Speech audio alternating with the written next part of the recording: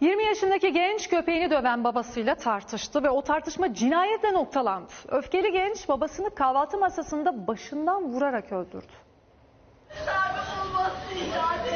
Köpeğini dövüyor diye sinirlendi. Silah sarıldı, baba katili oldu. Bu fotoğraftaki mutlu aile tablosu korkunç cinayetle bozuldu.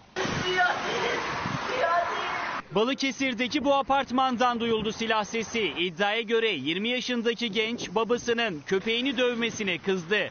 Evdeki pompalı tüfeği aldı, kahvaltı yapan babasına iki el ateş etti. Annesi hemen polisi aradı, ambulans çağırdı. Sağlık ekibi geldiğinde çok geçti. 40 yaşındaki babanın hayatını kaybettiği belirlendi. Olayın ardından evden kaçan genç bir süre sonra karakola gidip teslim oldu. İfadesinde köpeği yüzünden tartıştıklarını, bu yüzden babasını başından vurduğunu söyledi.